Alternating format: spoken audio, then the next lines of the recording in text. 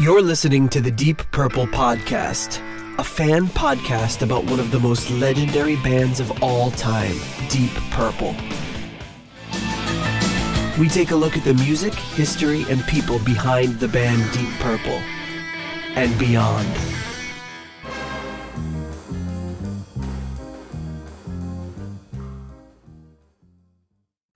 Welcome to the Deep Purple Podcast, the first and only podcast devoted to one of the greatest bands in rock history, Deep Purple. Today's episode is episode number 135 Ritchie Blackmore's Gibson ES 335. And coming to you from the thwarted suburbs of Chicago, I'm your host, Nathan Beaudry. And coming to you from the suburbs of Providence, I'm your co host, John Halloween Stuff Matola. Oh, okay. So I guess you're getting Halloween stuff. Yeah, well, I don't, I don't know when. When is this episode coming out? This Is it- episode will be come out like two weeks after Halloween. yeah, just like most of our stuff here, very timely or Yes. untimely, I guess. um, no, this year I'm actually doing some Halloween stuff. I kind of didn't last year. Um, so, um, you know, I have a I have a friend that I uh, I've known for a long time, and he gets really into Halloween, decorates the house. You know, he always has like the you know the the same things he did a great job with his yard this year not overdone or anything you know just some lights a little thing with the spotlight in the front yard you know not like over like i passed some places that looked like full on friggin graveyards you know i'm Oh, like all yeah, right yeah. this is like you know it's a little it's a little much for me i mean i feel the same way about christmas decorations but whatever so um you know i walk in and one of my favorite things is um uh, is like how random some of the stuff is because like you know he has like a like a purple light that he hangs up and it kind of flickers you know to make it look Yeah, like yeah. you know haunted house or whatever but then i walk in he's got um uh, what do you call it is it a raised ranch where you walk in and there's like this like you right walk in and there's like the staircase that goes up and one that goes down Oh, is like that a split level, maybe?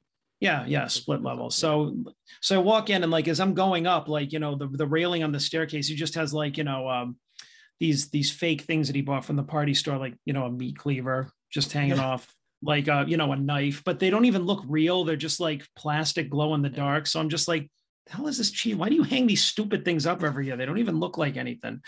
He's like, what? And then this giant spider that he hangs from the ceiling fan in the middle of his living room. And I'm like, uh, so um, we watched the new Halloween movie the other night. Oh. Um, it's one of the great things about this day and age is that it comes out in theaters and on streaming. And so he's like, which Mm, one do you want to do? And I'm like, um, let me see. We can avoid all people streaming. yes. no, no masks, no uh, dealing with no expensive Hmm. concessions. I mean, come on. yeah, watch it in the comfort of your own home. Uh, yeah, home. So, um, so Halloween kills pretty good. Um, Nice. I um yeah, I have mixed feelings about it, but you know, it's a uh, Michael Myers movie, so it's We'll, all good. we'll save that for our um our horror movie podcast. When I say our, I mean your. yeah. yeah, well, I haven't actually watched many horror movies. I'm usually into the really old, you know, Yeah, yeah. you know, Bela watching Lugosi. those, but yeah, yeah. Bleh. Bleh. Exactly. That's, that's you remember we used to you used to you used to think that was funny. I would like that stuff, and you just be like, "Bleh, I am, I Dracula." Great. Well, I, I Um, I did a little bit of Halloween decorating today, but Yeah. because I I had a nothing but I, everything everything I tried to do today failed miserably. I I I went to Home Depot uh, to get uh, stuff to fix our stoop because it's kind of the the concrete's kind of pitted. I bought a bunch of stuff for that. Went to a different place to get uh, paint to paint our door. They didn't have the they didn't have the paint so i had went back to home depot. I got the paint there and then i got a and then oh in between i went home. My power washer just wouldn't work. It wouldn't start. So i was like okay my power washer's broken. Gotta buy a new one. Went to home depot bought a new one and paint home depot versus the other place. Came home took the power washer out of the box. There's like big pieces of it snapped off just like completely it's broken in the box so i'm like great so i didn't go back to home depot a third time but I did say I'm going to paint the door and then like had a bunch of problems painting. Like I, I had pre-charged my sander, but like the battery, I guess wasn't all the way in. So it didn't charge at all. So I had to like wait again. And it, by this time it was like one in the afternoon. I'm like, I haven't done anything. I haven't gotten a single thing done. It was super bummer. Um, putting a third coat of paint on the door now. Um, mm-hmm. so hopefully, uh, yeah, hopefully it's dry when the show is over because it'll be late at night and I'll have to put the hardware back on the door so I can actually lock it and shut it for the night. So just leaving my front door, not even unlocked, just open to anyone who wants to walk. Just hey, come on in. Well, Maybe I'll put sounds... one of my scary. I'll put one of my scary Halloween decorations hanging in the door so no one would dare come in. Oh no, there's a ghost in that house. We can't break in. Let's see, like that, that would be like the scariest thing of that. First of all, your day sounds scarier than any horror movie that I could watch. Um, it was a um, nightmare. Just everything went wrong. It was terrible. And I mean, I, have been to your neighborhood. The only thing I could uh, that I could picture is, is like, you know, we're doing the show and I just see somebody creeping up behind you and it's like a suburban mom, like uh, with some brownies to like, you know, give you or some, something like that. that your neighborhood is way, way too nice. I think it's like uh, nothing would ever happen in that neighborhood which is probably why I'm guessing you left the front door wide open with your whole family inside. Yeah, it's been it's been open all day. Open, so no big deal. Well, maybe that's why there's a bug flying around the studio. it could be it. I do have a fly. There's a fly that's going to be menacing me through this whole show. I think the fly has been down here for weeks though. Like it's just, I never see it except when we're recording. It just kind of buzzes, like slowly goes in front of the screen, and I can't catch it. Maybe he's a fan of the show. Could be, could be. He just wants to learn about Deep Purple. So, hey, if you want to learn about Deep Purple, well, not really. If you want to learn, if you want to hear, I guess that that's something to clear up too. Is sometimes get contacted or people post post things about the show, and I think it's important to remember this is just two friends talking about Deep Purple. We're not trying to be like, here's all the facts and we're giving you everything. We're just we we bring up a subject, we do try to, you know, we try to go through the stuff as much as possible. And in today's episode, I'm sure there'll be plenty of stuff that I get wrong because when it comes to like technical stuff about gear, I am not even not even qualified to be a novice. So, you know, just keep that all in mind. Take it all with a grain of salt. We just we just it's two guys hanging out talking about their love for Deep Purple and and having a fun time. If uh if you want just straight facts, then pick up some great books because there's a lot of them, like this one by Jerry Bloom, uh, Deep Purple. A matter of fact, it's a great book. Um, but if you want to hear two guys chatting about Deep Purple and two old friends having having having fun, then then you've come to the right place. So if you want to support the show, you can leave us a five star review on Apple Podcasts. You can buy merch at our Etsy store. We still have t-shirts available and mugs, and you can also become a patron on Patreon for as little as one dollar a month. You can support the show, or you can donate on uh, PayPal if you so choose. What what so, kind of review could they leave? Oh, I'm sorry. A five stargazer review. John just came up with that right before the show. Like it took us two and a half years to come up with that. oh, you know, it'd be cool if we said, leave us a five stargazer review. Yeah. So now it doesn't have the same effect because we basically were just like, hey, listen to this thing we thought. Yeah, I know. And I just, I just, I already forgot it. we're in, we're incapable of coming up with anything clever. Oh well, um, we'll so make yeah. it a shtick. I'm hoping so. And f- speaking of far- five star reviews, usually get to these a little bit later. Um, but we have another a five star review. Let me get out the five star review meter. Five star uh, to, to uh, I forget the name of this thing again. Flexitone. uh, oh boy. So, uh, yeah, so we we got one in, and this is a short one. this is where did I put it? Oh man, here it is. Um, so the re- the review comes to us five stars from the UK. The author is Budacax. I think I'm pronouncing that correctly.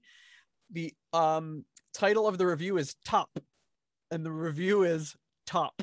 so That's I don't it? know if it came through about a week ago. So I don't know if it was they maybe submitted it early or they're just saying, "Hey, we're the top." I mean, we got five stars, the top review. Okay. So yeah, I, I mean, what I'll, I'll take it. Thank you, Budacax. We always appreciate five star reviews. It's uh, you know, we, you know, there's other five star reviews that don't you know don't have comments uh, attached to them, but that, that has an actual written review, which is top. You know, I like I like you know on the back of a book where it has like quotes about about how good the book is. I would just like to put like top BuddhaCax. You know, just when we're advertising the show, we can maybe make a little graphic that has, has some quotes pulled from our five star reviews. That one would uh, be great. Again, it wouldn't take up too much space. Uh, but thank you, Buddha cax, for your generous um, your generous donations. Um, and then we also have to thank, of course, our patrons. And first off, heyo, we've got a new, a new patron coming in at the one dollar silly made up name tier, Private Eyes. So I guess you can uh, Hmm. see what they're going to be saying about the show. Uh, Private Eyes Tommy writes, Hi, Nate and John. Thank you so much for your podcast. The vibe and everything else about it is so fun and enjoyable. I found you on Spotify when looking for pods that discuss Tommy. He is one of my all time faves. If you give me a shout out, please use the screen name I just made up Private Eyes, in honor of Tommy, of course. I have to say, um, uh, I have more to say, but we'll leave it for another time. Long day. Thanks again for the awesome show. So thank you, Private Eyes. Well, welcome to the Nice, I uh, like that. welcome to the uh, welcome to the patron group. We're happy to have you. I Um, like that. and coming in at our executive level patron tier, we have the 10 pound tier, Dr. Jill Brees. At the turn it up to $11 tier, we have Clay Wambacher, Frank Teelgard Mortensen, Alan Ain't Too Proud to Beg, and Mikkel Steen. I think I've ruined our sheet here. Let me see this. Um, and then coming in at the $10 someone came tier, we have Ryan M, Jeff Bryce, Gerald Kelly, and Victor Campos. Thank you so much to all of you for your generous support of the Deep Purple podcast. Um, another patron update. So um we have a patron that was doing some traveling and sent me this picture, John, which uh, may look familiar. I'm going to share this with you. Uh, they sent us this picture from the road when they were when they were on the road. So, do you recognize this location? This this place? yep. So that is um if if you haven't heard, I can't remember. It was at one of our House of Blue Light episodes, our first one. I think it was our first one. Mhm. uh, John talked about his experiences he had at a pizzeria in Maine. Um, and we were very careful not to name the pizzeria. And then we actually did a whole bonus episode because we talked so much about the pizzeria. we said we got to put this in a bonus episode. And I got to say, I probably got more comments about the Maine pizzeria review than any album review we've ever done. People just people writing in, people loved it. So Oh. um, so there's I've, I've blurred out the name of of the of, of the pizzeria, but there's a close up photo. Um, any So guesses somebody- as to, to somebody the- took this picture and sent it to you. yeah, they took this picture, and th- th- this isn't the only picture. can you um can you think of uh of, of a pa- do you want to take any guesses as to what uh what patron it was that sent this in? Um, I don't know, Rich. Well, let's go to the second picture. So the so that's our our patron Peter Gardeau. All right, that might have been my second. Yeah, that would probably have been your second guess. Um, so I'm looking through to find uh he, he sent me actually a lot of pictures from so so first of all he sent me this picture and the caption was looking for a dirty grinder and uh so Oh, I, I I said, "Oh, did you go?" And he's like, "No, we were just we were on our way up north, so we we happened to stop in." And I said, "Oh, your your wife is very patient." He's like, "Oh, this was a guy's weekend." I was like, "Well, your friends are pretty patient." To they're like, "Hey guys, come take a picture of me outside of this random pizzeria." Like, what the hell are we doing? Uh, but I guess if if you've if you've known Peter Gardeau your whole life and are friends with him, you're used to his his crazy antics. Um, so, now, how and did he? How did he find this? How did he know that it was? Well, a lot of some of our, our more uh, uh, I, I don't know investigative listeners have searched it out and kind of found what Mhm. what this pizzeria is. Um, Hmm. you know, using some various detective work methods, and then Oh. uh, here we go with the, the he took a picture of inside of the the grinder menu, which is hanging on the. And again, if you're not from our particular area where we grew up. Um, a grinder is a is a name for like a hoagie or a sub, a sub sandwich. Like he didn't even go in. He just took it. You can see the like the glare on the window. The people are probably like, "Wow, look at that." We're, It, it didn't even look open. I mean, it could have didn't even look open. Maybe it didn't even look open the day we went. an early morning drive for Peter and his friends.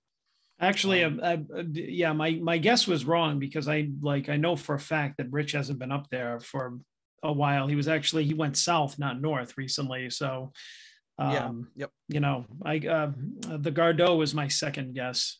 later in the weekend he sent me this picture i said "Uh, my alternative to that pizza place it's just the frozen pizza section at the whatever grocery store they were at so probably probably based on the reviews making a wise choice The uh, did he Um, find some Tyson's frozen dinners or whatever it was?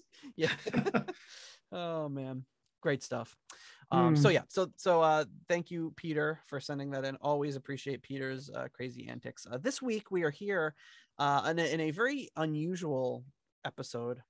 Oh man that fly. I'm gonna get that fly before this episode's over ha i got him Oh yes, right on Oh, camera. I can, yes, I can. Hopefully that didn't distort the mic. Hopefully I didn't blow anybody's eardrums out. Uh, I should use the cough Oh. switch. Okay. Um, so this week we are talking about Ritchie Blackmore's Red Gibson E ES335. Um, very specific, one specific guitar. And I think the most interesting thing about this guitar to me um, is that it's kind of like one of the more iconic single guitars that Ritchie ever played or owned. Uh, given the fact that he's not at all known for playing a Gibson, he's a he's a Fender Strat guy and was a Fender Strat guy for uh, the past 50 years. Uh, but there's so much early footage of him using this guitar, and it was used in so many mm, um, occasions and so many things. Um, oh wow, Peter Gardot is literally t- texting me right now, so he he must. He must have sensed a, a disturbance in the force. uh, but this guitar, you know, it pops up all the time in all of these old videos, and we're going to go through some of our, our highlights uh, of of this guitar and when it was used and what it was used for uh, in a little bit. But first, a little bit of history. So the E ES335 was the world's first commercially available semi-hollow body guitar. And guitar nerds out there, just get ready. I'm probably going to get a lot of this stuff wrong, but from what I'm reading from this amazing book, by the way, the Gibson 335. This is a great book Mhm. on the guitar. Uh, talks a lot about it. Um, so for for a long time, uh, American guitars weren't available in England. Uh, uh, they weren't allowed to be imported. And in 1960, they lifted that rule. And then Selmer London began distributing Gibson in the UK. And the list price for one of these Gibson 335s, and we'll talk about the 335. There's a million different models. There's the 335, the 345, and there's a bunch of them that are very, very, very similar make. So again, I'm probably going to get some of them backwards or wrong, or I might show a picture of a 345. Don't hang me for getting those little details wrong. But fr- from what I'm understanding and reading, this is kind of like a whole family, and this book contains 335s, 345s, and all ac- all over over and across the years. And this is by a, a guy named Tony Bacon, uh, which is a pretty cool name. And he Hmm. writes all of these different books. He's got books on uh, Gretsch, on Flying V, on Rickenbackers. Uh, so he, pretty uh, pretty cool series of books that he's uh, he's put together. So this this particular model would have sold they they said for um 306 pounds and 60 cents um, which was about $420.93 in 1960 so that would convert to um oh, oh, i lost it here but basically up seven over 7000 pounds and almost $10000 for one of these guitars. So in today's money. So huge huge investment. Um, Ritchie didn't buy one brand new, but in 1962, he picked up a used, which I, I found somewhere earlier, but I couldn't find it again. He said he paid like a, something like 120 pounds for it, so still a good amount of money.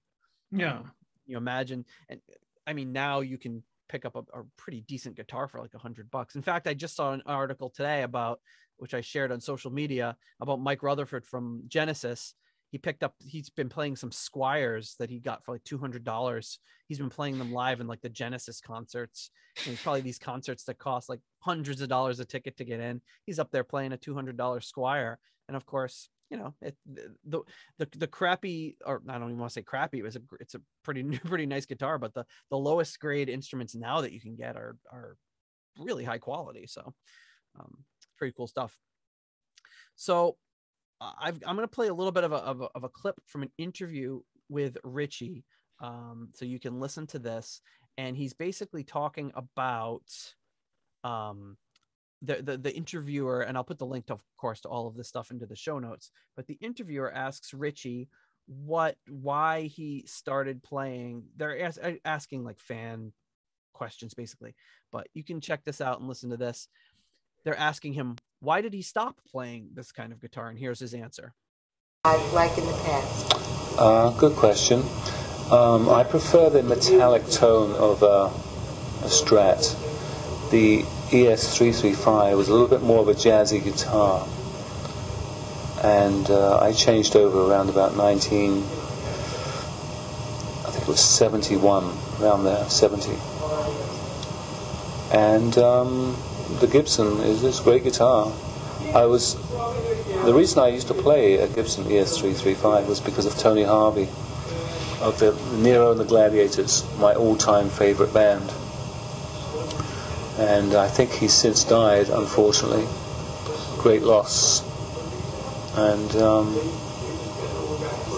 I used to see him playing a 335 Gibson. But um, long time ago. But uh, they used to play things like in the Hall of the Mountain King. So that's kind of what he says about that. And I love Ritchie is so like dry. You never really know when he says like, I played it from uh, Tony Harvey of Nero and the Gladiators, my all-time favorite band. like I just don't believe him. like he's such he's such a wise ass. like, like I believe that he liked them, but it's just funny mm-hmm. how he says my all-time favorite band. Like I I'm not buying that for a second. Um, but uh yeah, interesting that he, you know, obviously sees this and he he's he's coming up as a young session guitarist. He probably wants a good instrument, sees them playing it, and decides to to take it on his own. Um, right.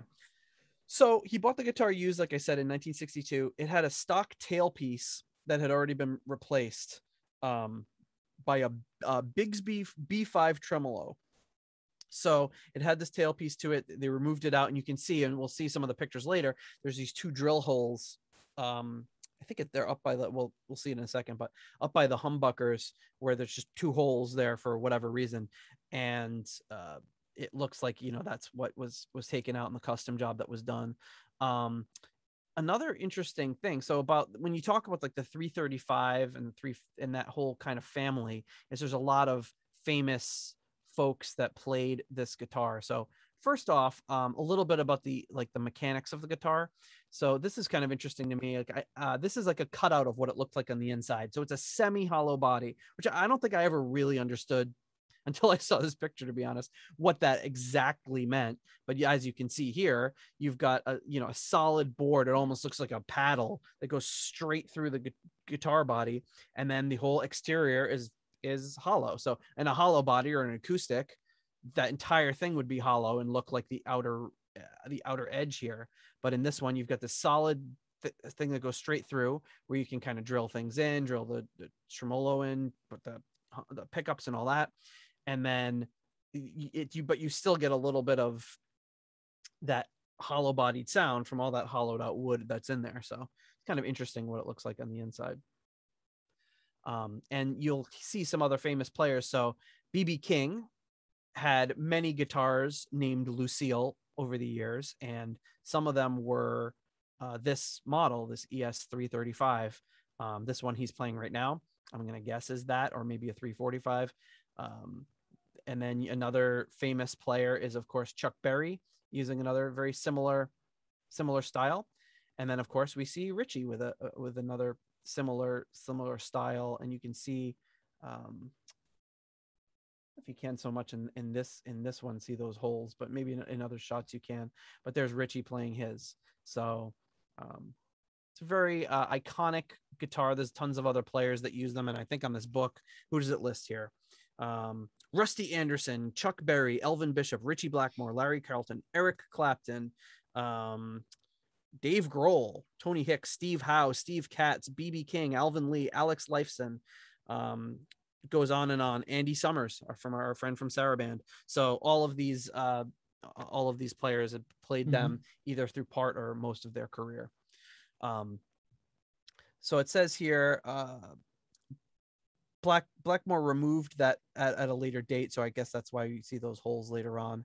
and uh, he used this on a number of recordings starting in the in the early 60s when he did some session work. Um, it says he bought this guitar at jim marshall's music shop in london in 1962 um, and it says so this is from a site called treble booster.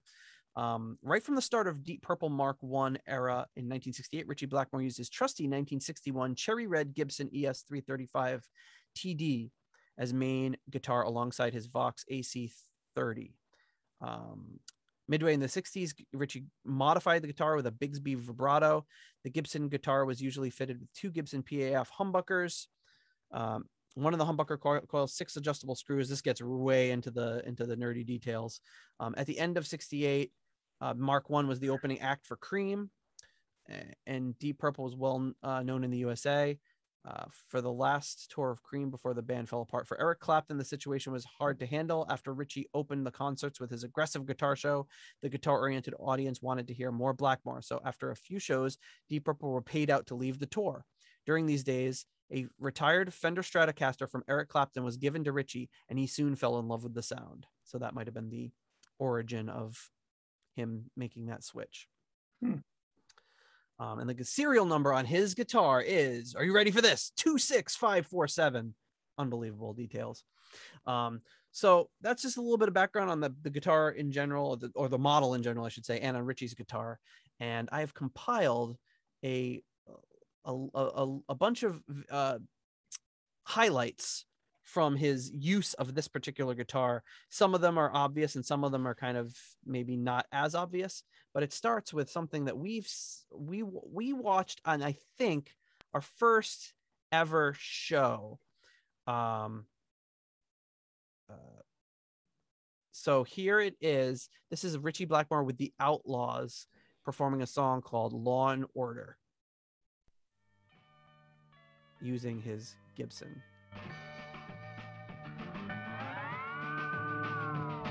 This is, of course, where Ritchie does this great dance.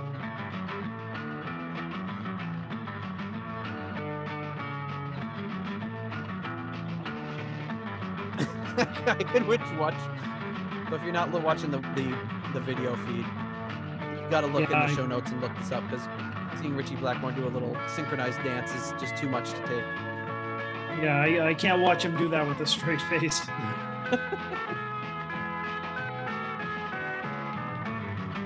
well, you know, whoever it was, like management or whatever at the time, was probably like, okay, this is what we gotta do, boys. This is the stuff that the kids are eating up. We gotta do a synchronized dance. And Ritchie was like, okay, whatever. Before he developed his true Ritchie personality and refused and stood right. like and stood an additional 10 feet over to the left and refused to participate.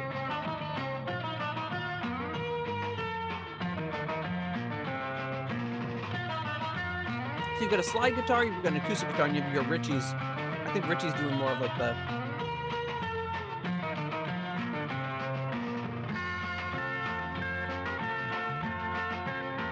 I don't even know what he's doing. It's, it's hard to see where this is all coming from.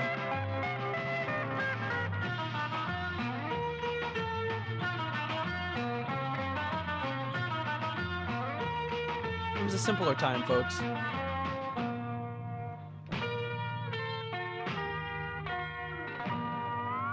I just noticed how the drummer just has Mike written on his bass drum, which is weird because the drummer is Mick Underwood.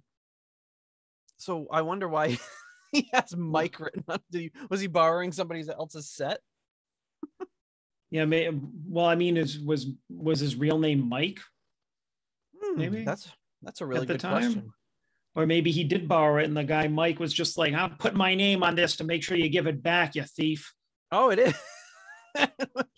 It is Michael John Underwood. How about that? Yeah, so back then he wasn't Mick. Yeah, I guess he was Mike. Hmm, yeah. Interesting. Okay. Well, that was, yeah, that was kind so, of silly. You remember that one, right? So, yes, next, of course I do. How can the, I forget? So, the next, we're going into like quasi uh, chronological order. The next item is in 1965. So, two years later, with none other than Screaming Lord Sutch and the Savages. Um, and here we go. This one is called The Train Kept a Rolling.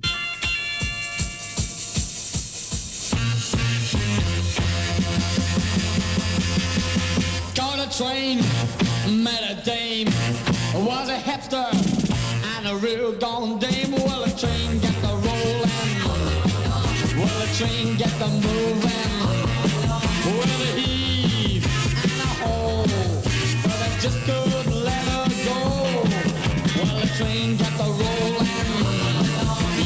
Train got the moving, well, the train got the rolling. Yes, the train kept a moving. Well, it heaved and a hole, but I just couldn't let her go. Made her stop out Kentucky. So, Must have thought featuring a ton of I uh, was a real gone jug. Got off the train. obviously, Out but this past is an Soul. early, a Um, fine Jack, couldn't let her go. Well, the train got the rolling.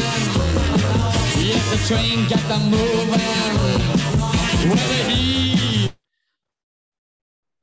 so I didn't realize how super loud that was until I heard you talking, and that was drowning you out. So wait, here we go. Let's, let's listen to this guitar solo here.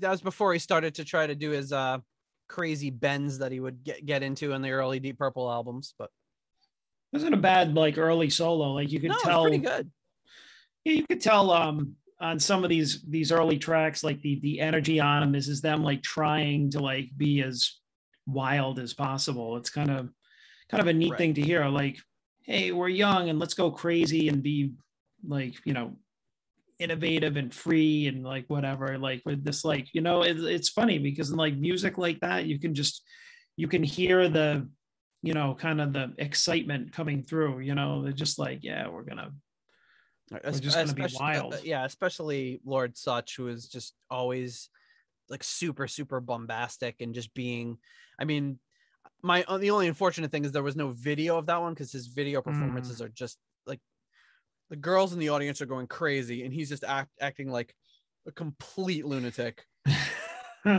It's just amazing that that's the kind of That's thing that they were really going crazy about back then but apparently it was.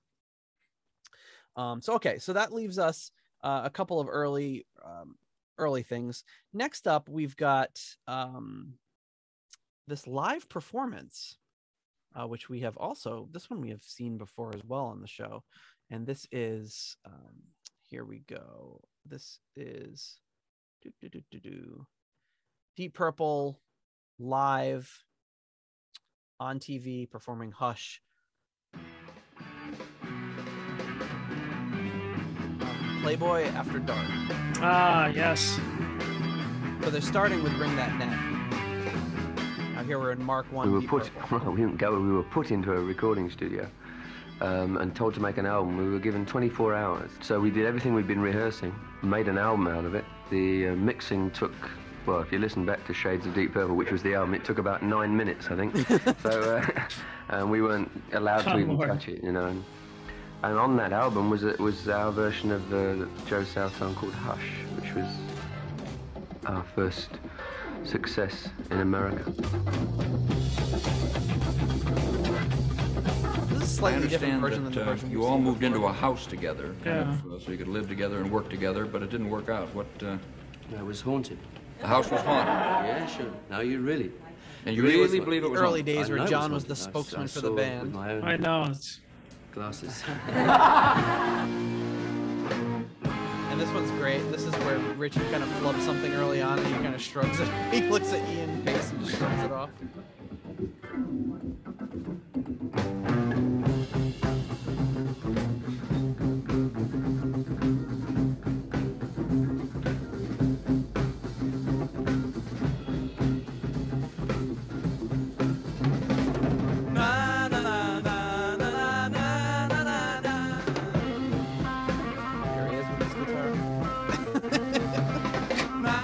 Like a little wink at first.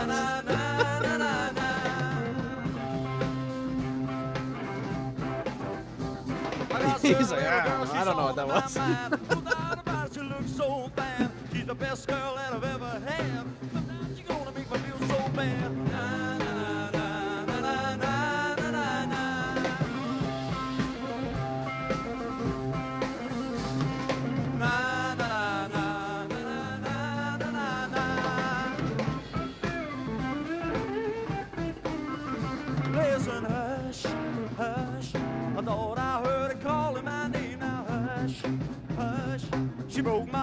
Still got to be one of the most legendary performances. It's just so great seeing them here in the early days. And you wish you had more super high production quality footage of the band's early days like this. Because most Well- of the stuff would have just been destroyed.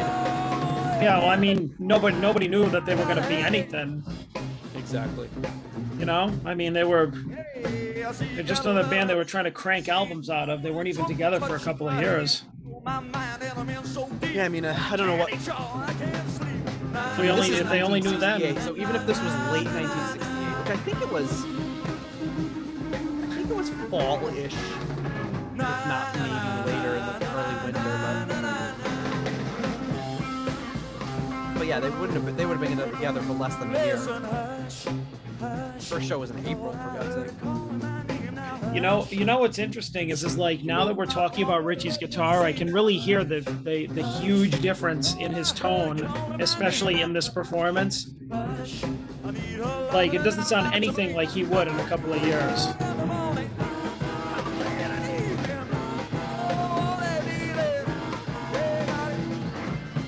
Yeah, and having that hollow body really does make a huge difference. Oh yeah, I mean it's a totally different sound for him, but it's like now it kind of you know, now that I'm paying more attention to it, it's like sounds like Ritchie, but you know, you can definitely hear like the the hollow body sound, especially in this performance, which I mean, I like a good you know, hollow body guitar sound. You know, as much as I like a, you know, a strat sound. One of the guys who I associate most with like hollow, like a semi-hollow body is um, Trey Anastasio from Phish, and I know Phish is a very divisive band, and people either usually love them or hate them. But love them or hate them, he, he he has one of the most incredible guitar tones, and it's so distinctive. To the part, the big part of it is that guitar that he's using.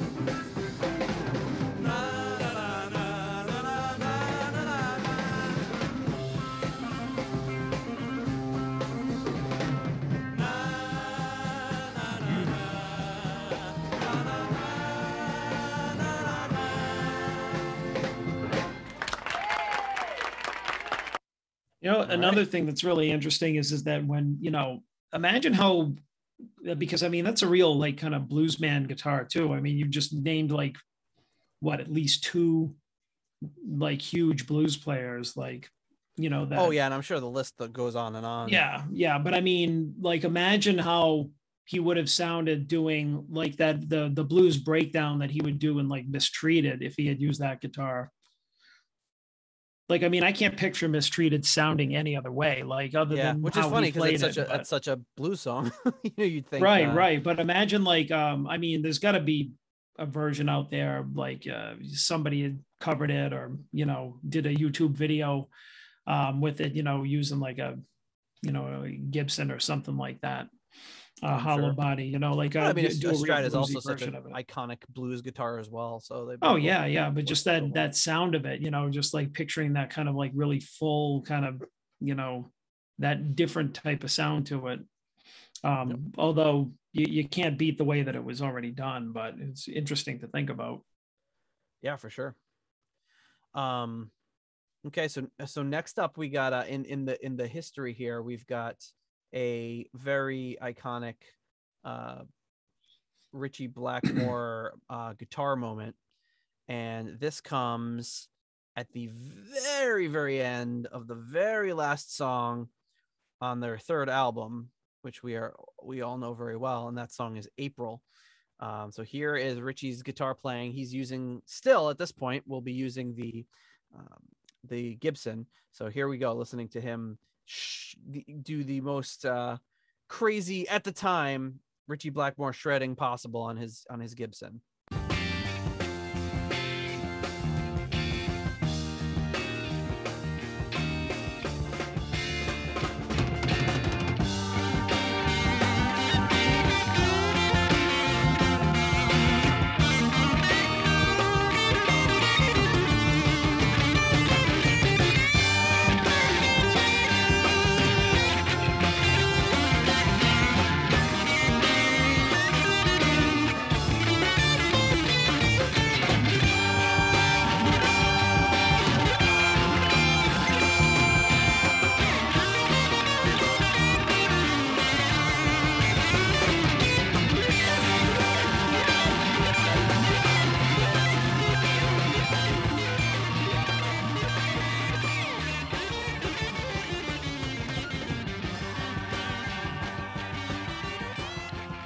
Go, folks. That's the earliest shred guitar playing right there. Yeah, potentially. I mean, it, it- of course, it's you know all up into interpretation or how you how you define shred, but uh, you That there's n- sweep harmonics. I mean, this is the same. This this album came around uh, out around the same time as Abbey Road. There were no sweep uh, sweep arpeggios going on on Abbey Road. mhm. Far from it. Uh, you know, the guitar solos at the end of the that that album are are fun and cool, but they're not quite at this level. Hmm. Um, so yeah, so th- there's uh there he goes. He's still using this guitar. He's going to be using this live for a little while. Um, they're going to go on to record in rock, and he records in rock uh, using mostly, I believe, the Gibson, uh, specifically on Child in Time. Um, next up, I've got a great live performance. This is Ritchie. Um, this is in Belgium, 1969, doing um,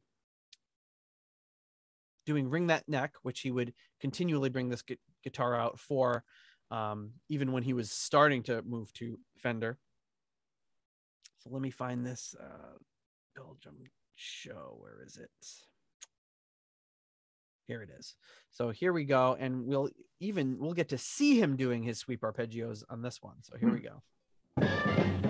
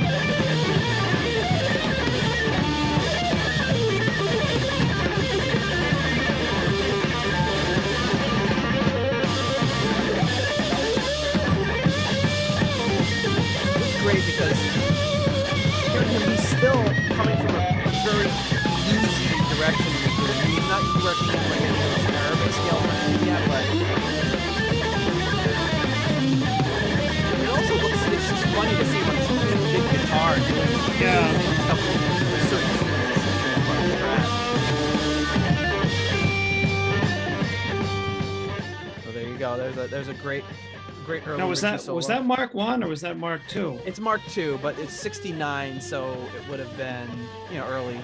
I don't know exactly what date in probably look it up, but um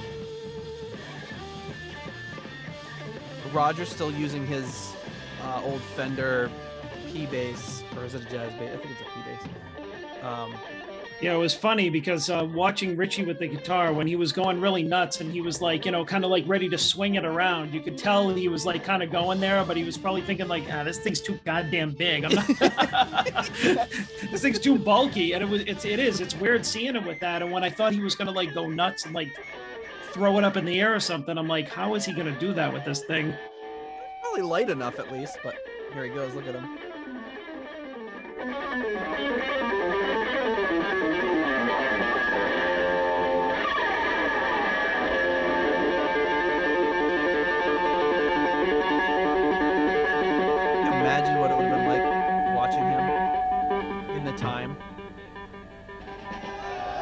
And there he goes, bringing it to a whisper. So yeah, a little. well, little that's it.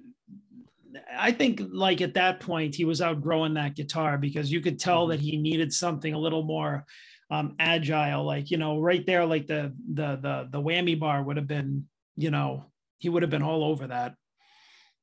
You know, Oh yeah, yeah. uh, you It's know, swift flipping the pickups and like you know the pickup switch and everything. Like you know, it, I mean, it was really cool to see him with that because he he did really get a really kind of a uh, this really just kind of like really raw, like you know, uh, just really uh, I, I don't know how to describe it. There's this really biting sound out of it.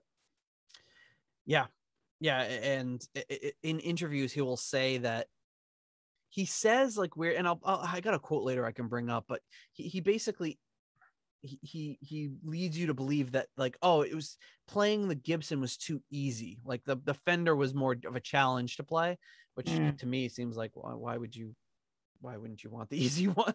but maybe it's probably because I'm not Ritchie Blackmore. Um, right. But I, I, I, like he talked about in that interview we heard earlier. He's, he's, he, I think it was the tone. I think, I think a lot of it had to do with the look for him.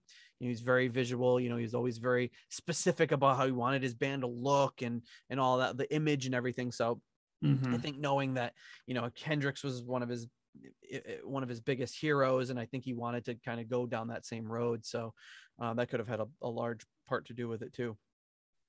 All right so we have a special guest on the show mr ilhan akbil and for the, uh, for some of our more well researched listeners they'll probably know why we're speaking to you right now but for those of our listeners that aren't aware why don't you explain why you're picked to be on this particular episode um, I'm, I'm, picked to be on this particular episode th- thanks to Nate, Nate Baudry, who found me through LinkedIn.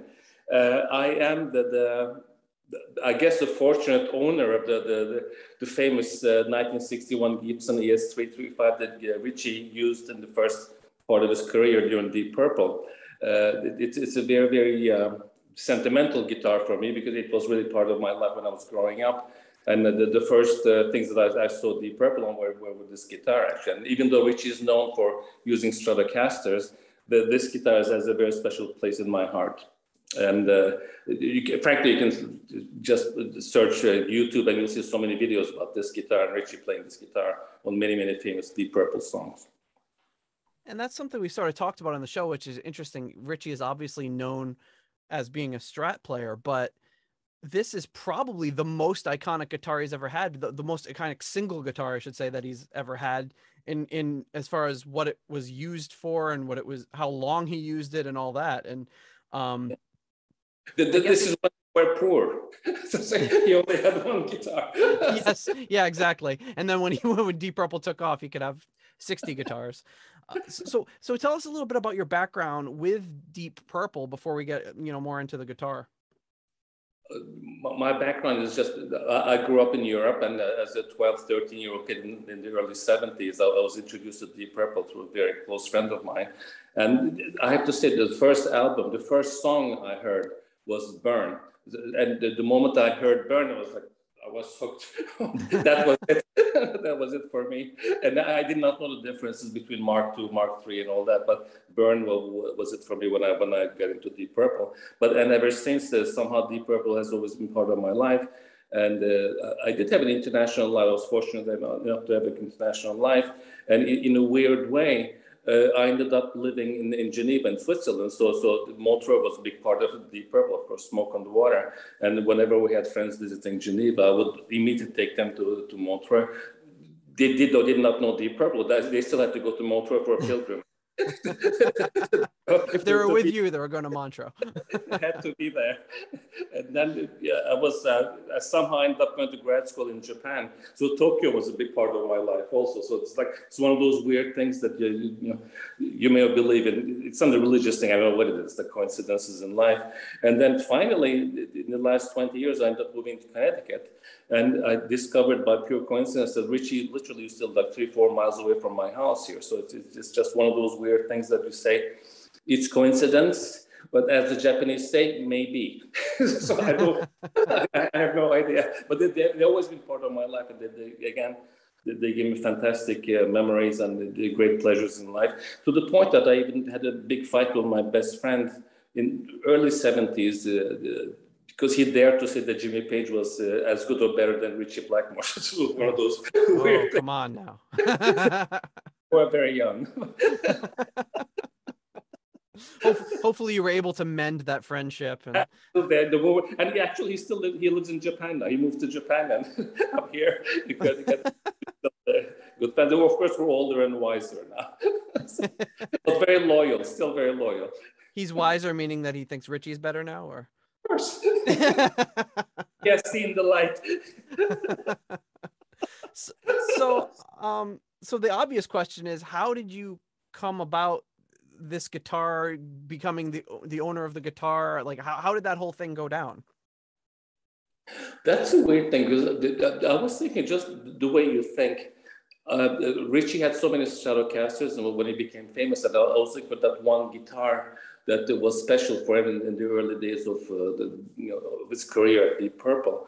And this, you know, Red Strike, Red uh, Gibson has always been in my on my mind, and I've, I've, I've been trying to follow it through the auctions and I think it was Sotheby's, you know, that they had several auctions and all that. And I always end up missing it. You know, it happened a couple of times. And honestly, I, I could never justify it to my wife. Why would anybody so much money for, for as the musician call, you know, piece of wood with four, six strings and you know, a couple of pickups and all that. So it's, it's difficult to justify.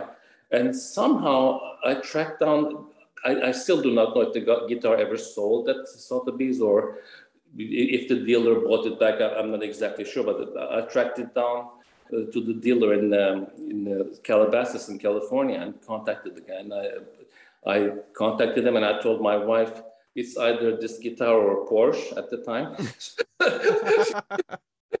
she, she, thought that the guitar was a better investment. she might have been right on that one um yeah i have to convince my wife to let me uh to, to, get the kids to bed and have me do the show once a week so i can only imagine uh, purchasing this guitar must be a little bit more of a conversation it, it, honestly it, it, was a weird experience because the, the, fact that she actually even agreed to that and then when the guitar guitar was shipped obviously i met the dealer in, in new york and also in, in california but when he shipped the guitar, I was literally shaking when I went to pick it up at FedEx in Manhattan. it was like opening a box of like a religious instrument. Yeah, well, exactly right.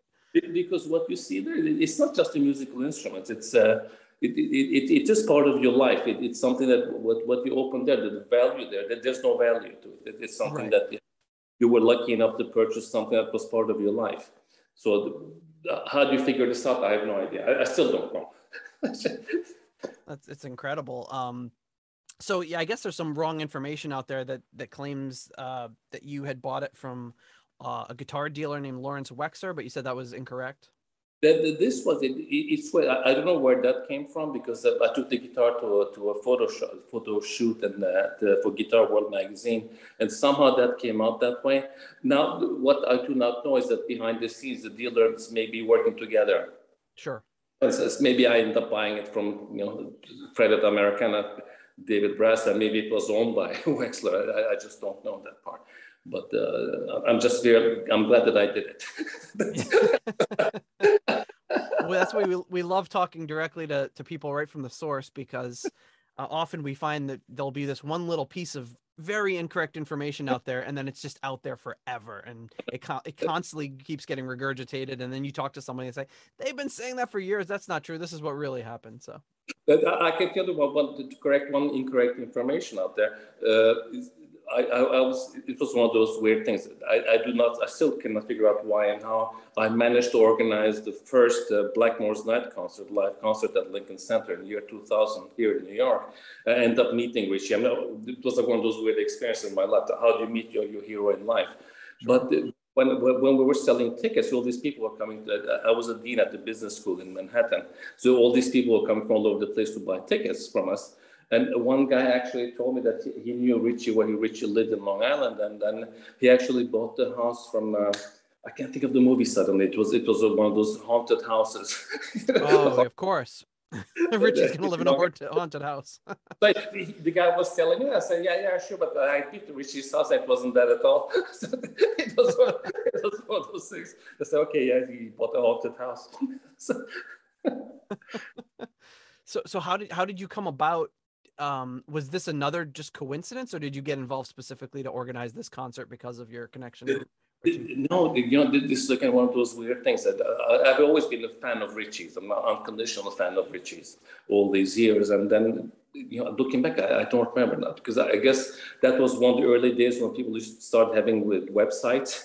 Sure, so sure. I Blackmore on Google, and somehow this Blackmore's Night thing appeared, and I said, I don't know who these people are. Let me just send an email.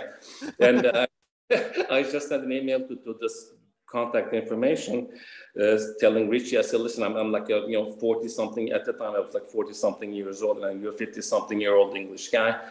It's weird that you get a message from this male admirer, but you're English. so I, I, hope that I'm in New York. If there's anything I can do to help, I'm here. And then, like, literally two weeks later, his manager, uh, Carol, contacted me, and then she literally showed up in my office. And then saying, listen, we're trying to do the Ritchie starting this new thing with uh, with Candice, who's now his wife, uh, the, the Blackmore's Night project, which is more of a medieval kind of music would you be interested in doing something and helping? So at the time, I was also working. I was I was at the business school. that literally nothing to do with anything. Yeah. And uh, uh, be, before Fordham in New York, I, I, was involved with UNICEF in Europe. So there was this big earthquake in Turkey. That, so maybe we can raise some money for nonprofit organ for nonprofit uh, for fundraising event. Ritchie agreed to do it, and that's that's how the whole thing started. And we literally I mobilized 36 volunteers, MBA students from, from oh, wow. Of course, the first guy was Japanese. He volunteered, showed up because he knew who Ritchie was yeah. and all that. so this, this was the craziest thing that I've done in my life. I just went 36 MBA students who just uh, who organized a concert at Lincoln Center here. But it took us two days to, to set up the stage and dismantle the whole thing, which was as complicated as setting it up. and, and so, so you're doing this kind of like medieval sort of thing in a in a church at Lincoln Center. How did that how did that go over? Was was was was the imagery uh, acceptable or? it, it, it, was all great. Like the first day was fine because we had several trucks that showed up with the sound systems and all that. And then Ritchie came for the sound check, and then he said that you know there, there was too much of an echo, re- reverb or something in the church, so we had to put some backdrops and all that to, to, to manage the sound. And of course, on the day of the concert, this was like early afternoon, when we look at the backdrop, the whole thing, this is where the priest is usually at this Catholic church. this is where the, where the priest will be. And right behind that, you have this backdrop, it's like a medieval village with witches flying. well, we saw that we suddenly had this cold sweat. how, how are we going to tell the church? How are we going to tell Ritchie? I don't know which is worse. yeah, right. so, I think so I'd rather deal with the wrath of the church, to be honest. So, so we start with I asked for the thing, for the, for the, there was also a guy called like a church manager, which I did not know existed. So this guy shows up. The, the first thing I saw, the guy he had, he had an earring, so which was great. it's, it's, a good sign. Yeah.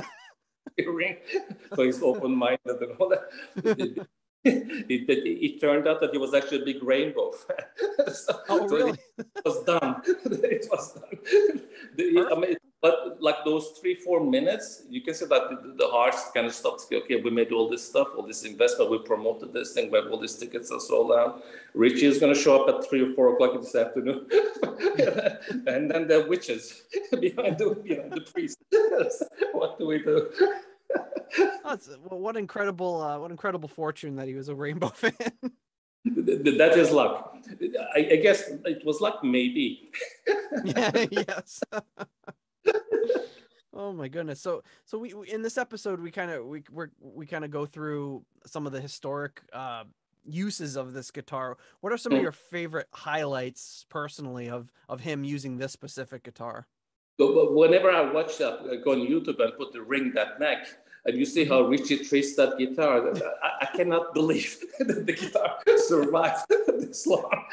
yeah, you're you're, pro- you're probably like you probably have white gloves out whenever you touch it, and, and meanwhile he's dragging it across the drum riser.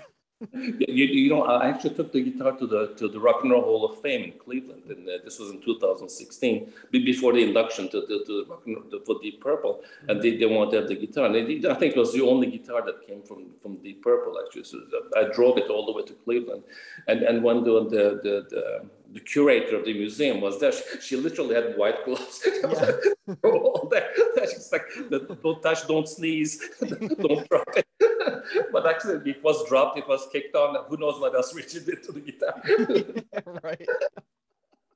That's incredible. Do you ever like so so what do you what do you do? Do you just have it in a display case? Do you ever like actually touch it or play it or like what what do you No, do you I, I, I, try to play it once in a while. I, I wish I could play it. Dude, that was so embarrassing. I'm not good enough to play it, but to really, you know, really play it well. But uh, so it, currently it is at an indis- undisclosed location because I have to be secure. it is secure, but then uh, I, I, take it out once in a while and try to, to, to, to to, to, to, at least smell it. There's also a different smell that I smell the guitar, I touch it and look at the strength and all that. So oh, it, sure. it, it, yeah, those yeah guitars for some reason hold like I, I whenever I open some of my old guitar cases, mm-hmm. it just like takes takes me away to to like a, a different era. But but I'll tell you something for people who know this guitar. Uh, it's not just me. I mean, it happened. This happened in Cleveland, not only at the at the museum, but also at the restaurant. Because I, I walked in with the guitar, and the, the waiter knew the guitar that we had, you know, those guys. And yeah, then yeah. Manhattan friends of mine, for people who know this guitar, it, it, really is some sort of a religious instrument. It's one of those things that's like they, are afraid to touch it. That, you know, it, it's weird. It's, it's, a weird feeling. I mean, I enjoy it, it's, it's, it's fun to watch them do that. So, oh yeah, I mean it's very special, and I think to, to fans, I think they can understand, and people that listen to this show will understand. Um, my my wife sometimes will ask me when I'm going downstairs, like, "What's your episode going to be about tonight?" And I say, "Oh, it's about Ritchie, this one guitar that Ritchie owns." She, "Oh, you're doing a show about Ritchie's guitars?" I was like, "No, just one of the guitars."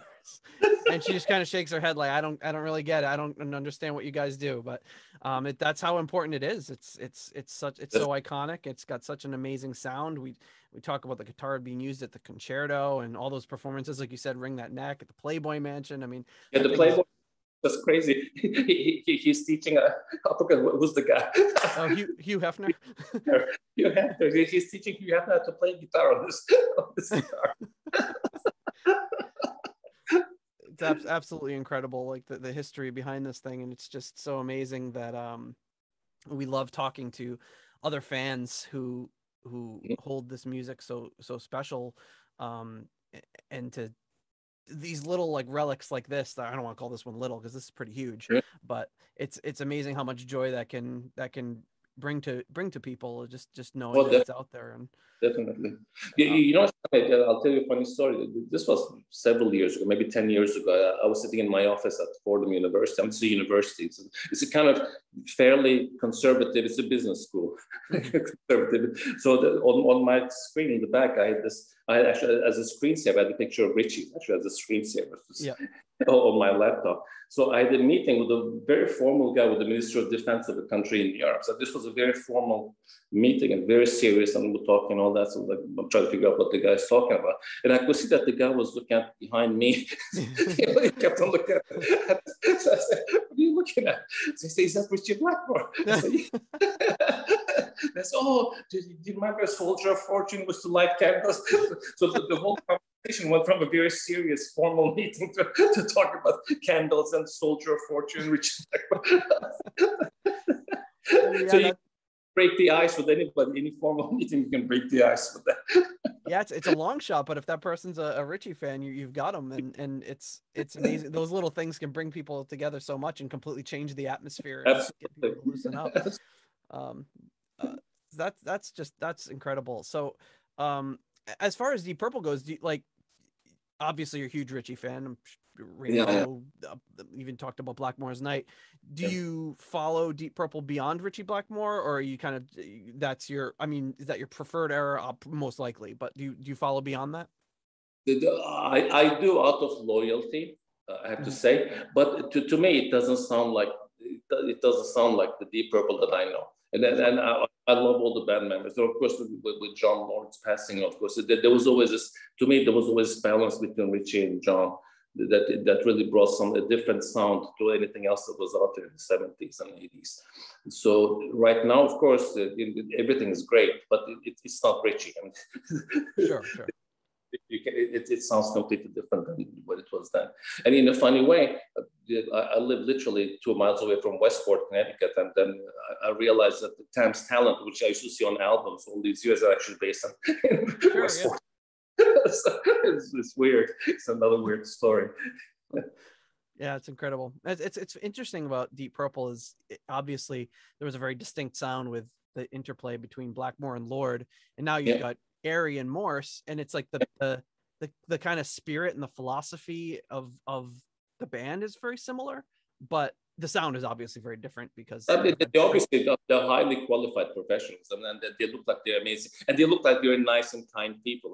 That's Yeah. why I like about that. Then that Steve Morse and Donny, they, they're all very very nice. But to me, when you put the whole package together, if I were a producer, it's it's not to me. It's it's, it's a great band, but it, to, to me it sounds different. Definitely sounds different. Of course, of course. Um, well, um, yeah, I, mean- I mean, I really appreciate you taking taking some time to, to to talk to me tonight about this. I know you're you're a busy guy and you got a lot going on, and it's been great talking to you over the past few months on and off about. This is like therapy for me. So Well, if you ever if you ever want to come back on, or if you want to come to us live from the undisclosed location and show us the guitar, you're more than welcome. we won't we won't show we won't show your location on the screen. but um but yeah we really appreciate you coming on. It's it's it's amazing to talk to you and, and hear some of these stories. And um this will be this this will make for a great segment on the show. And and again uh thank you for making the time. And uh we'll we'll, we'll have you back again someday. We'll keep in touch very much for finding me. well there's one thing i'm i'm, I'm good at. It's it's uh, digging digging and finding uh various players whoever they may be. Um and it's it's it's just usually it's it's just something simple like trying to ask a simple question. You know i, I just have a question um uh, about like for instance i had a question about the love hunter uh, album cover so I Mhm. found the artist and I reached out to him and we had this little dialogue. We talked on the phone a little bit and I got some answers to, you know, some simple little questions that'll probably take up like 10 seconds on the show, but um, just, just, it's good to hear from the directly from the source and get the, the accurate information. Well, definitely. Uh, You know, I'll tell you about the 10 seconds quick story. That I used to have another, it's more like a Franken strat. Like it was a, it was a strat body used, apparently you used at the 84d Purple reunion by Ritchie. And that this Oh, was, according to, um, I forget the guy's name. I'm getting older. Ritchie's like, I just can't think of his name suddenly. Oh, man.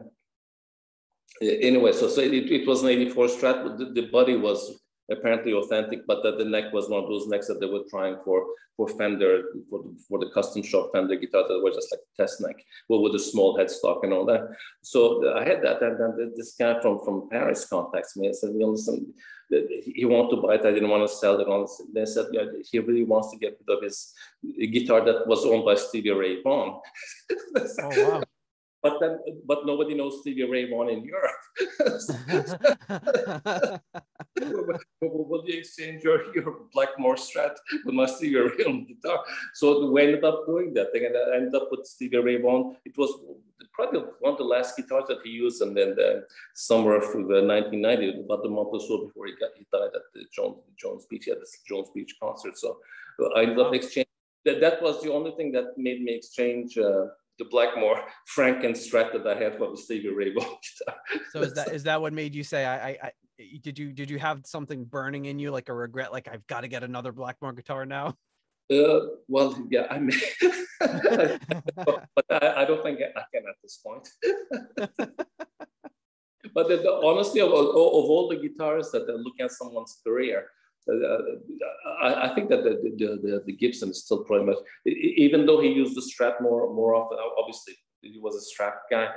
To me, the Gibson is really what, what created the Deep Purple sound, and then, but at least for the older guys, the, the people that wear. So what's what's ingrained in our heads, that those are the early Deep Purple years, and uh, there's a special place in which he's, you know, the way he used the, the, the Gibson, and then in all of our hearts, basically, it, it's a, there's a definitely different place.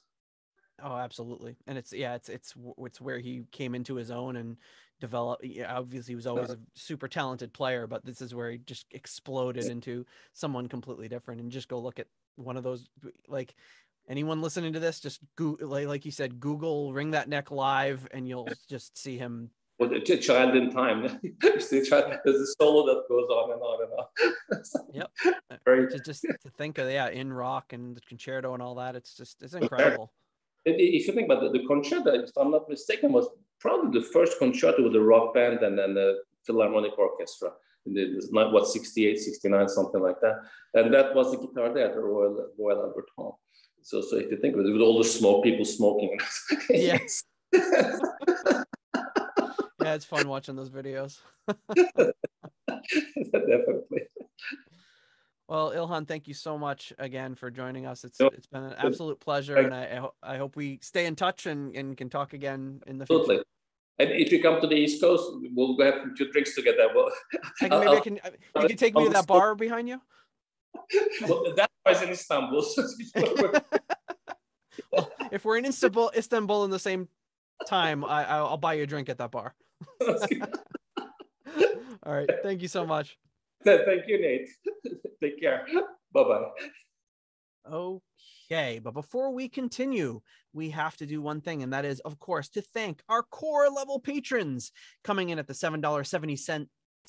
you never say this one. The $7.77 Keep It Warm Rat tier. Michael Vader at the episode $6.66 tier. Steve Coldwell, Arthur Smith, Anton Glaving, and Richard Fusey.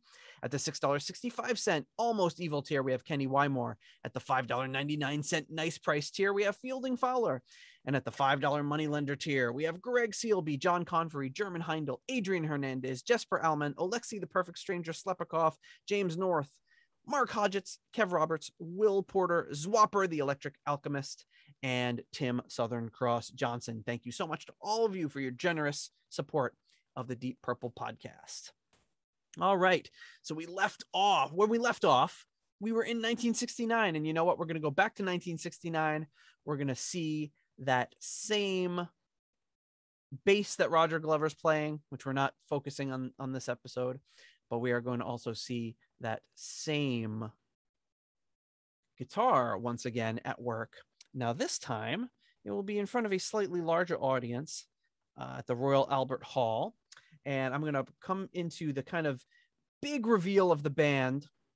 Uh, uh, where the band comes in and starts to kind of show show off their stuff at the Royal Albert Hall.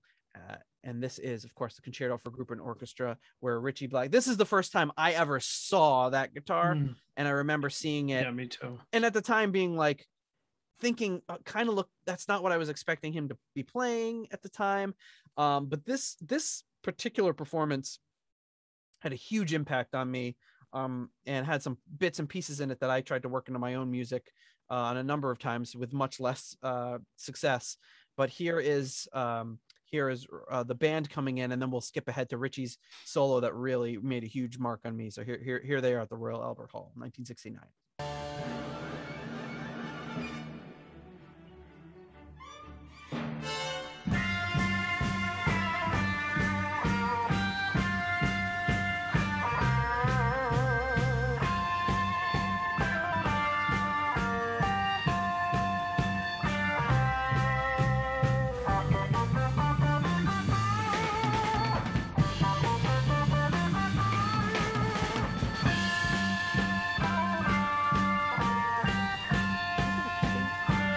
This bass run that Roger does.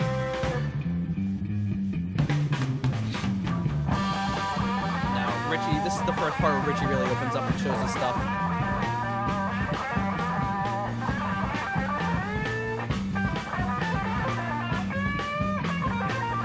Of course, the cameraman not showing him at all.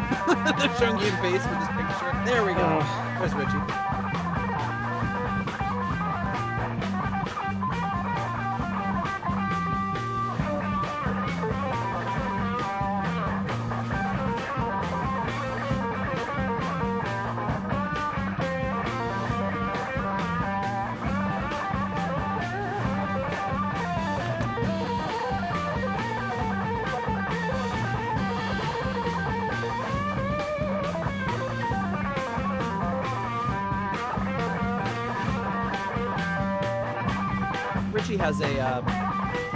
He's talking about shredders nowadays and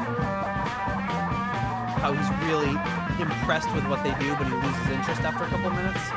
Yeah. And I- which I can agree, I can understand, and I kind of feel the same way. But I don't lose interest in when he's doing when he's going for it like this. Like I could watch it all day. Something about what he's doing.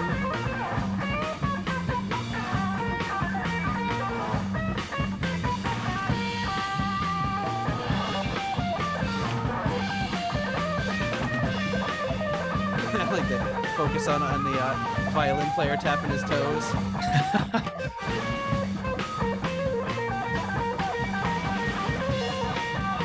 the guy wigging out in the crowd. I always love that. tripping balls while watching Deep Purple.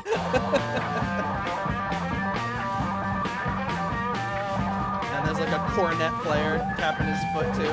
You know the cameraman was just loving that.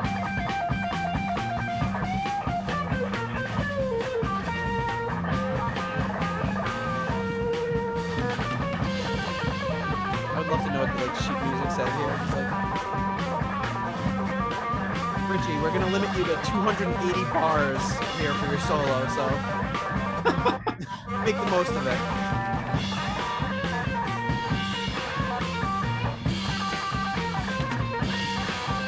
Even Malcolm Arnold. I think is this the one where I have to go back to our old notes for that one. This one where like it was supposed to. Ritchie Yeah, that was guy over to- there on the right. Ritchie was supposed to be the cue to make it stop, but he just wouldn't stop. Yeah. so maybe that's why Malcolm Arnold looks so.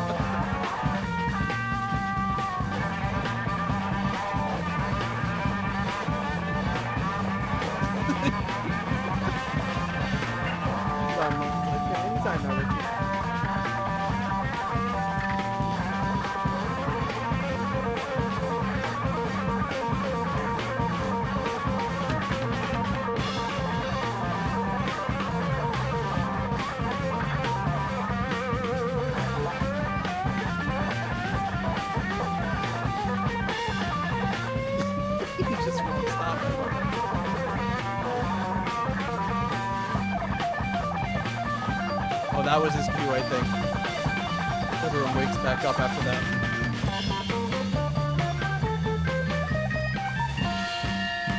Okay, so that's the big, the big solo that he does, obviously.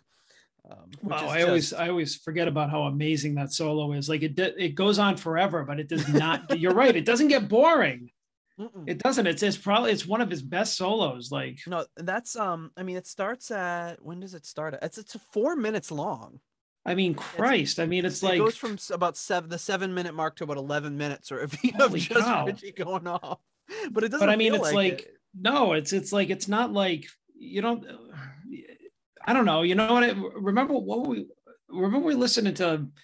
All right, well, let's not try and let's try and forget about when we were listening to Warhorse, but like when we were listening to them and we, like I was I was talking we were talking about how when a guitar player is going off on an extended jam when you're like when you're really good it's interesting. But when you're not good you should probably just stick to like being a you know doing a basic solo. And i mean Yeah. if that's not proof that he w- was not a you know a passionate inspired musician i don't know what is yeah, and it, it could be even like you could even be like the guitar player for Warhorse was pretty damn good, but it's the it's it's not about being pretty damn good. It's about being the best, and Ritchie Yeah. was the best, and arguably still is. You know, I mean, he just and for for him to just he has so much character in his playing, and so and he makes it so interesting. It's not, you know, like all of these. You could you could list a hundred guitar players probably without even googling that are technically the, the like superior and and have more ch- like are more fluid in their playing and everything but but the the the the character and the personality behind what Ritchie plays it, it can't be duplicated. It's it's you know and we're not you know if you're new to the show we're not oh it's not if it's not blackmore it's not purple. We're not those kinds of guys but it you can't deny how great he is. Oh yeah, I mean, uh, and I mean, on, on top of that too, I mean, you know, it has nothing to do with with with the guitar, but and I, you know, probably said it when we were watching this in the concerto episode, but one of the reasons that I like this so much, this performance so much, was is like, I mean, it wasn't just him too. I mean, it was like it was the band, um, all coming together. But it was the what they were doing coming together in that atmosphere too, because it was like Yeah. it was because even though it was like you know the late 60s it was still this kind of like rebellious feeling of just like seeing all these like stuffed shirts just sitting there like with their horns being like ah, you young whippersnappers and malcolm arnold just like leaning up against the thing like Ugh. But he was You know, and you're like- Malcolm Arnold was the champion of all this. He, I know, but he looked like you. But it was so funny because like when they're when they're showing him, you see Ritchie and he's going like this, and then they just see you see like Malcolm Arnold like in the forefront, just just standing there like with his arms by his side, just like what like what do you do when you're a conductor and, and like there's a band rocking out? So I used to think that it was funny in a Mhm. way, but I would also like be like it was like a big like middle finger to like the man, like yeah, take that. yeah, and you I think that was part of the appeal when we've watched this for the first time as teenagers. It was Yeah. yeah, like they're gonna show those those those uptight whatever so and so's that it's kind of like what I my my feelings on Mary Long. You know, hearing that as like an early teenager thinking, yeah, you tell those hypocrites what's up. Yeah, I kind of feel the same kind of thing with this. You just feel like, yeah, those people are all stuffy. Screw them. Um, but yeah, Right, it's, it's a great. I feel like we could probably do like a, it makes me listening to this little segment makes me want to watch the whole concerto again. I was like, I like know, let's right? just do a next week. Let's do the concerto episode again. It was like our, one of our earliest episodes. Let's redo it. Um, Yeah.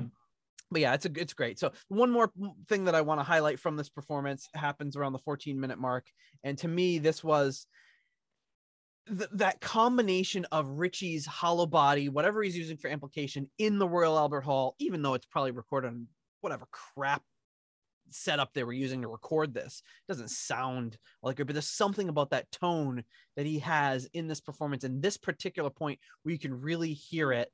Uh, when the band stops and he hits these notes and then starts going crazy, this is something that this is like a musical moment from for me. It's like one of the the top Deep Purple moments of all time. So here we go. Let's take a listen.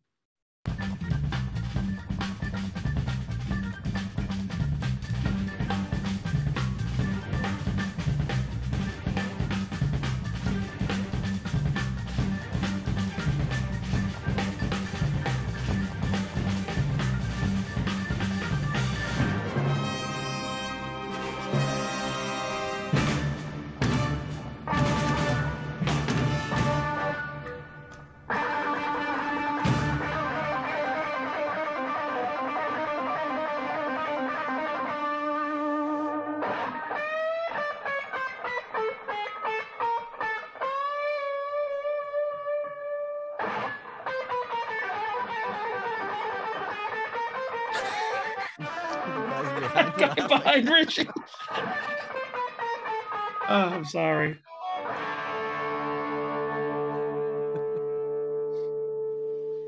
So that I mean, there's just that one moment there, but that to me, Oh, it was so dramatic. Yeah. it's so dramatic, and that that's what I when I think of the concerto, it's that moment right there where the the orchestra has those Yeah. and then Ritchie just takes over and starts and starts soloing over it. Such un- un- unbelievable, incredible tone, incredible, and it's one of the funniest moments because those two guys the- just look at each other. Like, The old guy behind him was like, He's, he's like, like, oh, the chromatic scale. Oh yeah, I know that one too. yeah, who's gonna know this guy in 50 years? Flash forward, and like, you know, he's been dead for like 40, and uh Ritchie is still kicking. 49. right. But um, Although it's funny but- when you see people from the late 60s, that guy was probably like 39 or something. he looks like he's 80. you see people from back then, they you, see, you know, people post pictures like that, like, hey, here's like the, uh, somebody posted the other day, like the first season of The Sopranos, like Tony Soprano was like 38. I know. I'm like, oh, I know, like I know, I know. I would like I watched that show, like I rewatched it maybe like I don't know, last year or something. And I was like, you know, I always look up stats and everything. I'm like, Jesus, I said like I am like I'm actually at the point where like I'm older than the cast of this show was when they made it. It's Yeah, like, like, you know considerably. Yeah. like, you're like, yeah, oh, they're all like they're all like, you know, like mid to late 30s, whatever, in in the show. And yeah, I'm like, exactly. and and you know i'm always like oh what are they like uh, probably like 50 or whatever when i was younger and it's you know but but uh but yeah that that part in the concerto was always for me like that was one of my favorite moments for uh, not only the the reason of the dramatics too but also the opposite of what i was just saying was is like you know when when the when the orchestra and the band was like working together to build up to something that was like so cool to see because you're like because before I'm like, yeah, screw you, orchestra guy, and then all of a sudden I'm like, yeah, work together with them, you know, like yeah, work together with those old funny duddies. you know, it's like, yeah, they're they're making it happen. They're they're doing it together, you know. So it's like I don't know what I was thinking, but it was it, was just like it's um yeah, it was just such a, a cool and exciting thing. And to think that Ritchie just did not want to be part of it and hated Yeah. it, you know, and disliked it. And you're just like, when you hear this guy talk about how it's like, oh, I hated that, or "Nah, I was uninspired. it's like, oh my god, I hate you right now. Yeah, Like, yeah. We all wish we could do a quarter what he did when he was uninspired. You know, I wish I could be like that on my worst day. So, Yeah, you know, sure. you know, he's probably the whole time he's probably just like, oh, oh, oh, man, I hope they have a jacuzzi back at the hotel or something. Yeah. You know, Is this like thing almost over yet? uh, is this God, God, I want to grab some, I don't know what bangers and mash or whatever they eat out there, Fish and chips, maybe. fish and chips. Bangers and mash would be a good one too. That's a nice, good picture of Ritchie eating some fish and chips. Not like when Glenn Hughes requested them during Wizards convention. Bring me a bottle of whiskey and some fish and chips. Just imagine Glenn Hughes breathing, breathing his whiskey, fish and chip breath all over the microphone as he. Oh man, could you imagine the poor bastard that would have to use that microphone afterwards? I don't see no one else. I'm blind. I'm blind too from the fish smell and the vinegar. How much vinegar you put on that? Um, all right, so now we now we're just we're scooting. That was the end of 1969. We're scooting into 1970, and Ritchie busts out his uh his signature guitar, I guess at that point, for a performance of "Child in Time," and this is done. This is a famous one. This is one that kind of like people share on social media all the time. This this, this one, I don't, I don't know what it is about this particular performance, but Mhm. maybe it's just that it was recorded and it was a, there was a video available. So this is um Deep Purple and on what is it? Granada TV studio in front of a live audience doing Child in Time. Oh yeah, I love this. Uh, love this um, series of performances. Yeah, it's a great one. Like, what do they do? Like a few, few songs. Like yeah, two, I three they- songs. I think they did a few. Yep.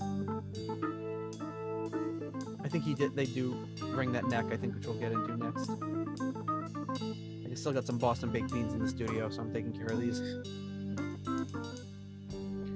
You know, funny is, is like I've seen like a lot of these, like this. You know, uh, there were a couple of these clips that I didn't see, but like this one, the concerto, I never really thought about. Oh, he wasn't using the Strat.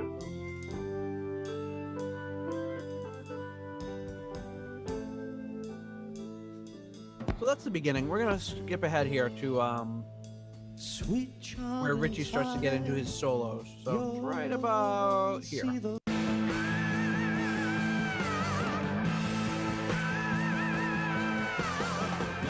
Tear it up on that ES 335.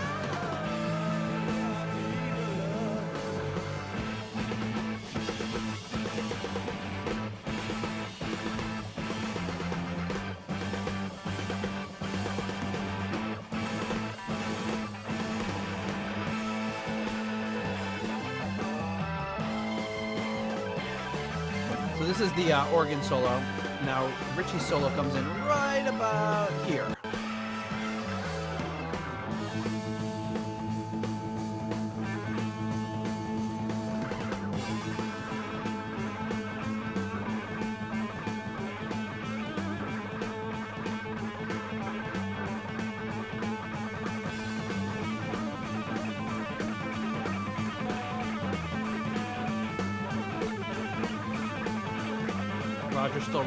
Rocking that Fender.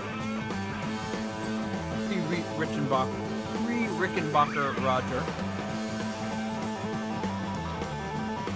I can't talk with these Boston beans in my mouth.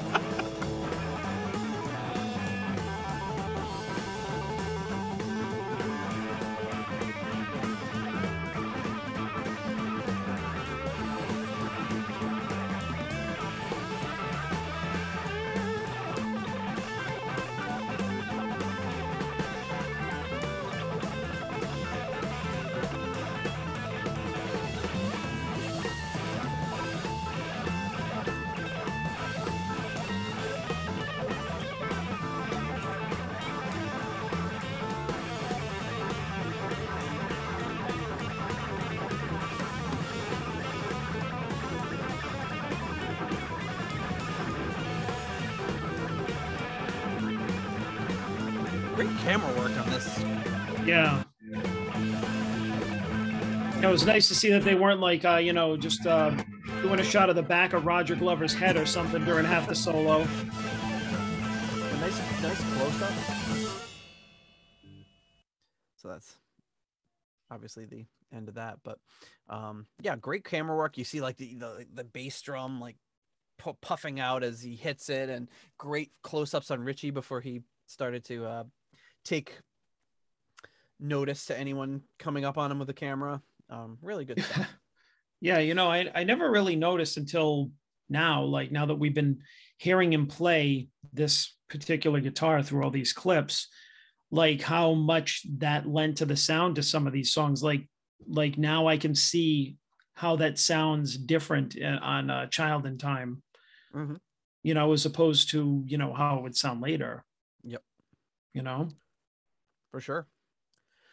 Um, next up from that same performance, this is um, "Ring That Neck," and we got some interesting guitar bits here.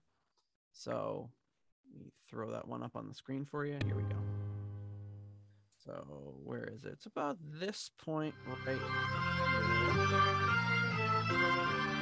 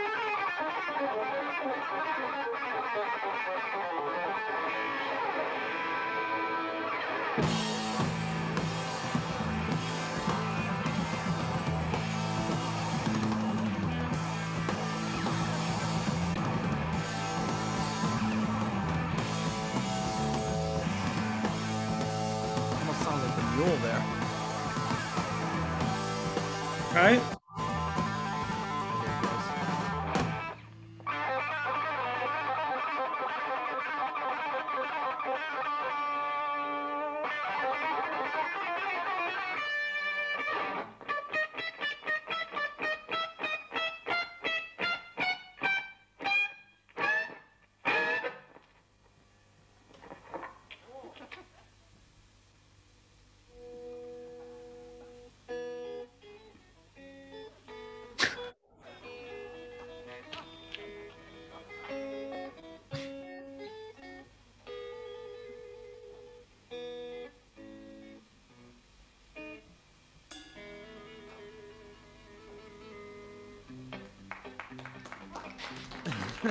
so he's up to his old made, made in Japan tricks, kind of surfacing early, early there. Ian, Ian Paice has this look on his face like, I didn't know this was where we're going, but all right. Oh my God. What a wacko. But unlike in Made in Japan, you get to see the, the crazy looks on his face as he's doing it. He knows he's in front of a camera.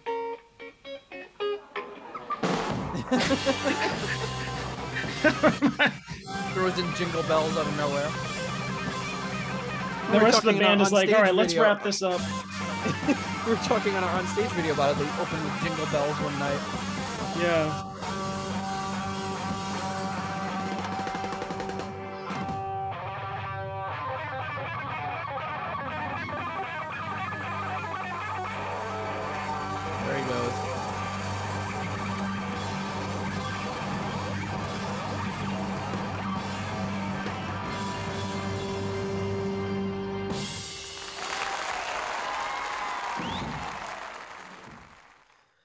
You So- know, was you know what- else was really funny was did you see the row of like like teenagers that were just sitting behind him, like in the front row, and there was this one. It, it, it looked this one kid who was this blonde kid who was just like just grinning the whole time. Like he was just like ha look at this guy. Like you don't know if he was just like smiling like this is great or like this person is ridiculous right now. Like what is he even doing? But i mean that's like that's you know, kind of the genius of Ritchie, you know, and the, the whole band. Like, I mean, they just like, he's just like, you know what, I'm going to just go like take like a sharp left on this one. And they made it work, you know, I mean, that's, so made the band unique in the early days. Yep. You know, it's raw. That's pretty incredible. Um, so we got one more video of Deep Purple again live in Paris. Once again, doing Ring That Neck. So let's hear. Uh, this is another crazy Ri- Ritchie solo where he was really just coming into his own here.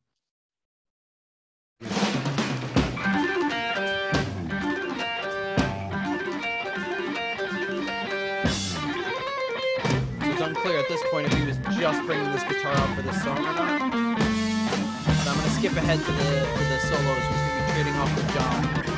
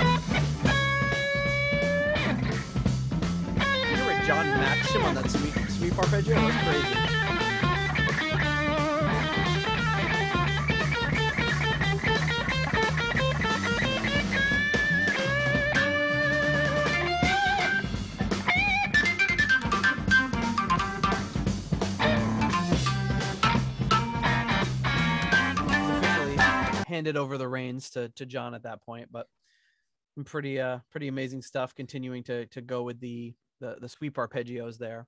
But Mhm. so there you have it. That is Ritchie's Gibson ES 335 guitar interview with the current owner as well as some of our favorite clips. Um so after uh after Ritchie uh attended a Hendrix concert in 1970, he kind of had his eyes opened and decided that this is kind of the direction he wanted to go. And he purchased an old Strat from one of Eric Clapton's former roadies. Um, but he would kind of keep the Gibson around for a little while. Uh, he'd bring it out in concerts to play Ring That Neck. Uh, and the, I guess the final, it would be great if we could track down the final performance with the Gibson or where it finally met its end. But apparently, when the song "Lazy" got brought in to replace, um, to replace "Ring That Neck," then it was that was it. That was it was curtains for the Gibson, and it got it got put away. Um, according to Jerry Bloom, he did use it one last time to perform "Fireball" on Top of the Pops in December of 1971, but I've found videos of that, and it looks like he's using a Strat. So maybe there's a different performance that I'm not aware of. So you know what, John? The other day I was on Twitter, and this was after we recorded the first part of the episode, and um, somebody posted maybe maybe it was me I don't remember, but posted a picture of Ritchie's guitar Yeah. and uh, of the of the Gibson, and Candice Night replied, "Oh, she said, oh Ritchie loved that guitar, and he does he doesn't he doesn't know what happened to it," which I thought is funny because there's lots of interviews where he talks about what happened to it. Plus, it lives 50 miles away from him right now.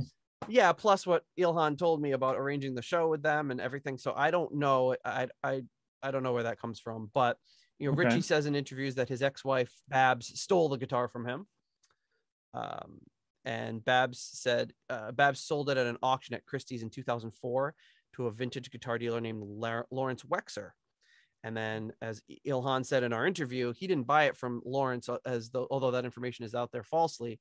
He got the guitar from um, Fretted Americana, uh, David Brass in Calabasas, California. Um, so he said they may have purchased it from Wexer at some point. Mhm. Um, so I would like to have a huge appreciation to Ilhan for joining us on the show. Uh, really appreciate uh, his his stories about the guitar and all that. It was a lot, ton of fun talking to him. Um, and I'll leave you with one last little Ritchie Blackmore quote uh, about his Gibson guitar from an interview. This says, uh, Blackmore says, the 350, oh, that should be 335. The 335 was a good guitar, but it didn't have the same sound. It was warmer, fuzzier. It would gloss up the notes a bit. With the Strat, if you played a wrong note, everybody heard it. Ultimately, it was a beast worth taming. So there you have it, a beast worth taming and a beast worth owning if you have if you have the uh, the means to to purchase it. Uh, at its Yes, yes. next time it goes up for auction, I say we get our patrons on board and say, come on, guys, if everyone could just kick up to the the two thousand dollar tier for a, a couple months, we could purchase and and wouldn't it enhance your viewing experience to see it hanging on the backboard there? Um, I don't think Ilhan is is is selling, but No. you never know. You never you can always dream, right? That would be the perfect prop. I mean, sure, I've got my uh whatever. What do I have? My autographed co- copy of Burn.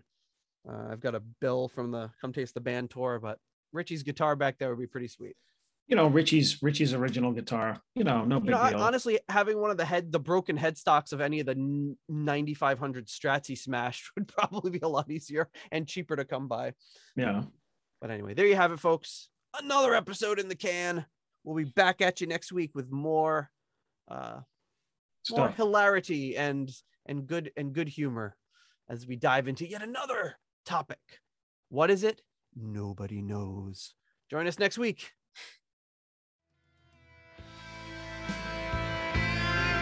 Thank you for listening to the Deep Purple Podcast.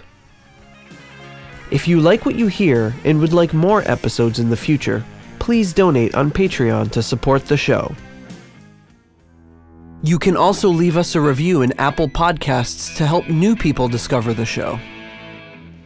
You can follow us on YouTube, Instagram, Twitter, and Facebook for show updates. See deeppurplepodcast.com for more details. Thank you for listening.